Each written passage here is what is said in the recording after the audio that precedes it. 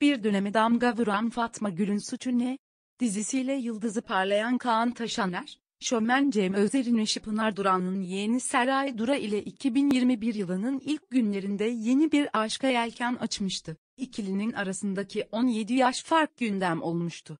Ünlü oyuncu, bu konudaki eleştirilere, onları yazan arkadaşların takdiri. Bu ayrıntıya takılma ihtiyacı duymuşlar karşılığını vermişti. Nokta gerginlik sonrası öpücük yağmuru. Kaan Taşaner, geçtiğimiz haftalarda Balta Limanı'nda sevgilisi ile sebebi bilinmeyen bir nedenden dolayı yol kenarında tartışırken görüntülendi. Ünlü oyuncu, ilk önce kızdığı sevgilisini, daha sonra sarılarak öpücüklerle ikna etme çabasına girdi. Bu durum karşısında tepkisiz kaldığı görülen Duran'ın mutsuzluğu yüzüne yansıdı. Bankta uzlaştılar. Kısa bir yürüyüşün ardından boğaz manzaralı bir bankta oturan Taşaner ve Dura, yaşanan tartışmanın değerlendirmesini yaptı. Sevgilisine yakın ilgide bulunan Kaan Taşaner, yarım saat süren konuşmanın ardından Duran'ın günlüğünü almayı başardı. Nedeni merak konusu olan ve fotoğrafların basında yer almasıyla birlikte sosyal medyada çok konuşulan tartışmadan sonra bir süre sahilde el ele yürüyüş yapan Kaan Taşaner ve morali hale bozuk olan Seray Dura, daha sonra evlerinin yolunu tuttu.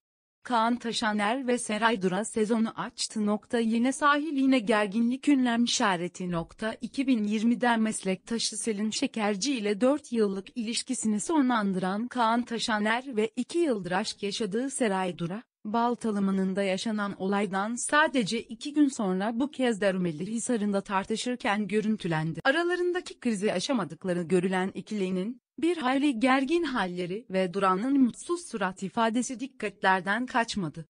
Üçüncü durumlarda var. Son olarak final yapan Kanunsuz Topraklar Kesme İşareti dizisinde rol alan ünlü oyuncu, basın mensuplarının sevgilisiyle artarda yaşadığı gerginliği sorması üzerine şu açıklamayı yaptı. Baş başa yemek yediler. Kaan Taşaner ve Seray Dura, Tüm bunların ardından Metropol İstanbul'da birlikte el ele alışveriş yaparken objektiflere takıldı. Keyifli halleriyle dikkat çeken ikili, alışverişten sonra baş başa yemek yedi. Mekan çıkışı görüntülenen ikiliden Kaan Taşaner, basın mensuplarına kısa bir açıklama yaparak, sevgilisiyle aralarında küslük olmadığını dile getirdi ve şu ifadeleri kullandı. 43 yaşındaki ünlü oyuncu, şu sıralar Gecenin Ucunda adlı diziyle ekranlara geri dönmeye hazırlandığını da söyledi. Bebekte aşka geldiler. Kaan Taşaner ve Seray Duru el ele alışveriş turunda.